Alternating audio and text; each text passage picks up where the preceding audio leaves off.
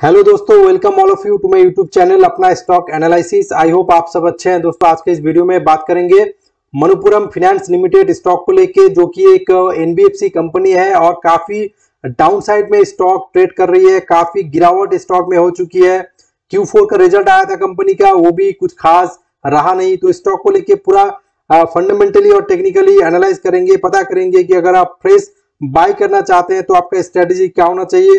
और अगर आपने ऑलरेडी बाय करके रखे तो आपका स्ट्रेटेजी क्या होना चाहिए तो अंत तक बना रही है और अगर चैनल में नए हैं तो लाइक एंड सब्सक्राइब करके थोड़ा सपोर्ट ज़रूर कीजिए। तो पहले पहले चलिए, बात करते हैं स्टॉक जो है, करती क्या है। यानी कि स्टॉक का लाइन ऑफ़ सर्विस क्या है? तो ये जो कंपनी है बेसिकली साउथ इंडिया बेस्ड एक कंपनी है। डील करती है मोस्टली गोल्ड लोन के लेके। तो Muthoot Finance and Manappuram Finance ये कंपनी लगभग एक पेयर कंपनीज़ है जो कि सेम ऑफ़ सर्विस में काम करती है। इनका मेन फोकस्ड काम है गोल्ड लोन प्रोवाइड कराना और मेन बिज़नेस जो है कंपनी का साउथ इंडिया से आता है। अगर बात करें मार्केट कैप का तो मनोपुरम फिनेंस लिमिटेड ये कंपनी का मार्केट कैप है। सात हज़ार आठ सौ नाइन्टी सेवन करोड़ का मार्केट कैप कंपनी का है, यानी कि लगभग सात हज़ार नौ सौ करोड़ का कंपनी है मनोपुरम फिनेंस लिमिटेड अगर बात करें 52 वीक हाई एंड लो का तो 91 रुपीस का लो और 224 रुपीस का हाई कंपनी ने एक साल में दिखाया है और अभी स्टॉक ट्रेड कर रही है 93 रुपीस में।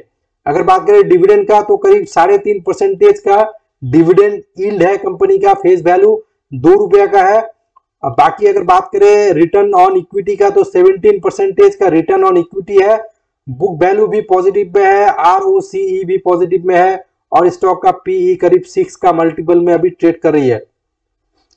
तो फंडामेंटली ज़्यादातर पैरामीटर्स जो है पॉजिटिव में है, कोई नेगेटिव तो कुछ दिख नहीं रहा है। एक ही नेगेटिव चीज़ है कि कंपनी का जो शेयर है share continuously 52 week low new low बना रही है।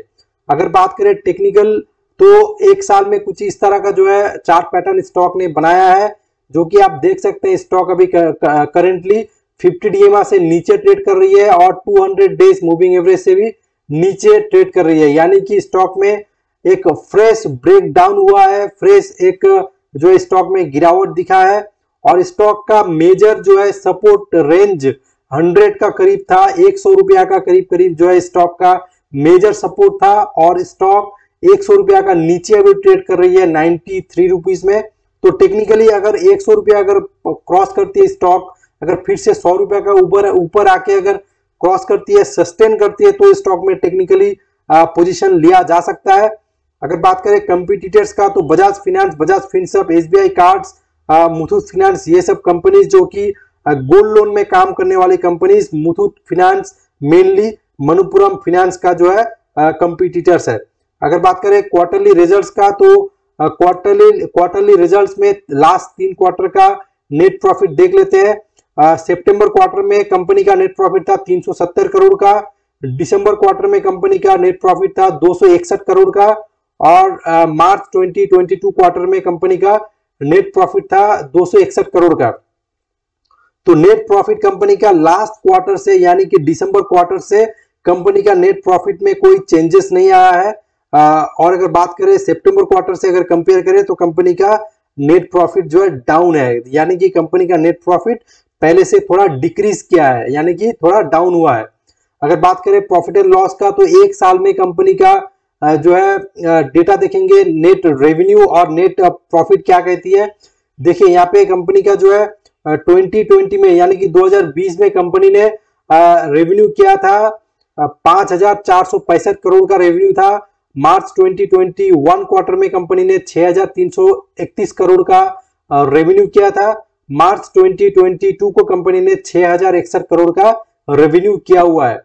अगर बात करें नेट प्रॉफिट का तो चौदह करोड़ का नेट प्रॉफिट कंपनी ने 2020 को किया हुआ है। आ, आ, 2021 को कंपनी ने 1724 करोड़ का नेट प्रॉफिट किया हुआ है। अगर मार्च 2022 क्वार्टर का बात करें तो 1328 करोड़ का नेट प्रॉफिट कंपनी ने मार्च 2022 क्वार्टर में किया हुआ है।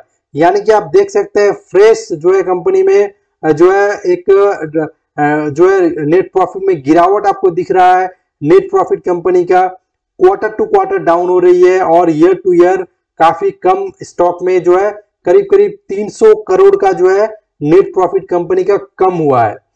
तो यही कारण है कि स्टॉक स्टॉक जो है नेगेटिवली रिएक्ट कर रही है रिज़ल्ट को लेके क्योंकि नेट प्रॉफिट कंपनी का डाउन हो रही है। अगर बात करें बोरिंग्स का तो कंपनी में अभी करंटली 24,816 करोड़ का एक बड़ा अमाउंट में जो है कर्ज कंपनी में अभी है। आ, काफ़ी बड़ा एक अमाउंट का कर्ज है 24,816 करोड़ का कर्ज अभी कंपनी में है।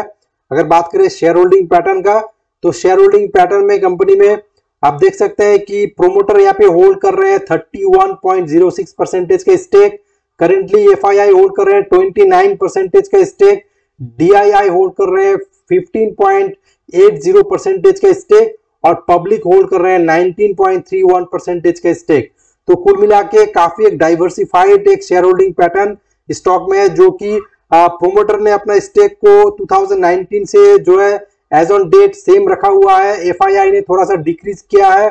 डीआईआई ने काफ़ी बढ़ाया है। होल्डिंग को और पब्लिक ने भी अपना स्टेक को बढ़ाया हुआ है। तो अगर बात करें ओवरऑल अगर पैरामीटर को देखें तो देखिए ओनली ओनली जो है मनोपुरम फिनेंस गिर रहा है मार्केट में। ऐसा नहीं है, क्योंकि जो है, अभी ऑलमोस्ट मुथुत फिनेंस भी, जो है ऑलमोस्ट 52 वीक लो का करीब करीब चल रही है। तो जो है, एक सेक्टर वाइज एक खराब एक रिज़ल्ट कंपनी ने ईयर ऑन ईयर या फिर क्वार्टर टू क्वार्टर पेश किया है ऐसे। मनोपुरम फिनेंस लिमिटेड ये काफ़ी वेल नोन और काफ़ी बड़ा ब्रांड है। अगर आ, अगर साउथ इंडिया बेस्ड अगर बात किया जाए साउथ इंडियन कंपनी में तो काफ़ी बड़ा एक कंपनी है। Manappuram Finance Limited branded company है। अभी नाइन्टी थ्री रुपीज़ में स्टॉक ट्रेड कर रही है। अगर कोई बाई करके रखे हैं लॉन्ग टर्म के लिए तो होल्ड कर सकते हैं। अगर कोई फ्रेश बाई करना चाहते हैं तो जैसे हंड्रेड रुपीज़ क्रॉस करेगा और सस्टेन करेगा स्टॉक में आप बाई करके होल्ड कर सकते हैं क्योंकि ये जो सेक्टर है ओवरऑल काफ़ी आ, काफ़ी अच्छा और काफ़ी लो रिस्क वाला काम वाला जो है एनबीएफसी काम है क्योंकि गोल्ड लोन प्रोवाइड कराती है विथ सिक्योरिटी जो है एक लोन भी प्रोवाइड कराते हैं और इंटरेस्ट भी कमाते हैं। तो काफ़ी अच्छा कंपनी है मनुपुरम फाइनेंस लिमिटेड रिज़ल्ट देखिए एक दो क्वार्टर में रिज़ल्ट खराब भी हो सकता है लेकिन अगर लॉन्ग टर्म में अगर देखें तो कंपनी काफ़ी अच्छा है। तो ये है व्यूज़ कि अगर आप फ्रेश बाय करना चाहते हैं तो सौ रुपया के ऊपर आप फ्रेश बाय कर सकते हैं। तो आज के लिए इतना ही। मिलते हैं नेक्स्ट वीडियो में। Thank you